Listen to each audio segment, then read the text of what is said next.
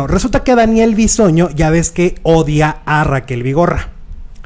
¿Te acuerdas? Sí. Por todo este chisme de la separación, que supuestamente Raquel vendía las noticias a TV Notas, toda la información que salía ahí salía de la boquita de, de la Vigorra, y luego, eh, pues ahí ya los compadres perdieron eh, la amistad, ¿no? Porque se adoraban y ya no se adoran. Pues resulta que la venganza de Bisoño. ¿Qué tal? Así le vamos a titular. La venganza de Bisoño. Resulta que Bisoño, pues es el productor de la obra de teatro A Oscuras Me da risa, ¿no? Esta obra de teatro de comedia que se ha montado desde hace décadas. Pero la última se montaba con Raquel Vigorra y Bisoño. Ellos dos eran los, eh, los protagonistas porque Bisoño era productor junto con Alejandro Gou y Albertano. Pues resulta que ya anunciaron ayer, ahorita con la reapertura de los teatros, a partir de este viernes, a oscuras me da risa sin Raquel Vigorra. Bye Raquel. Vigorra.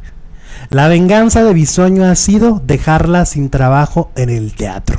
Porque su lugar será ocupado, como estamos viendo en la pantalla, por Ninel Conde. Ninel. ¿A ti quién te gusta más, Ninel o Raquel? ¿Tú, tú viste o a oscuras me da risa, no? Sí, sí, la vi. La vi pues cuando estaba en el Telmex. Ajá. La vi con la familia en un viaje a México. ¿Te gustó? Me gustó muchísimo. Me gustó mucho y, y- y lo que iba a decir es que el personaje de, de, de- de la Vigorra, que ahora lo va a hacer em, Ninel, Ninel. pues no es tan trascendente. Podría estar o no estar ¿eh? Ajá. en la obra. Es un florero, un atractivo ahí que se presta para una que otra confusión. Pero ahí los verdaderamente, los que verdaderamente hacen reír, para mi gusto, es... mm, yo pensaba que iba a ser Albertano, fíjate, cuando Sí. yo vi la función. Y no.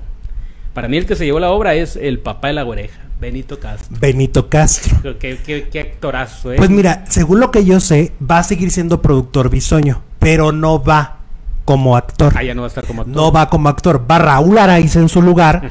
Estará también Ulises de la Torre. Va eh, Albertano. Está Benito Castro. Está también Diana Mota. ¿Quién es Diana Mota? No sé, no. Y está también José Luis Guarneros. La resignación, ¿cómo se Es lo máximo, ese Mm, personaje es lo máximo. Y entonces va a estar Ninel Conde en lugar de Raquel Vigorra. Esta ha sido la venganza de Bisoño. La venganza de Moctezuma.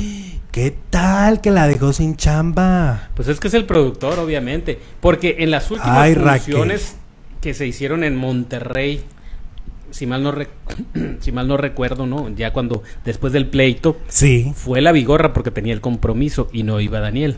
Ya no estaban trabajando así. Entonces, siguió todavía unas funciones cuando después del pleitazo, ¿no? Oye, y luego Pero eran vecinos, ¿no? Nueva temporada y ya.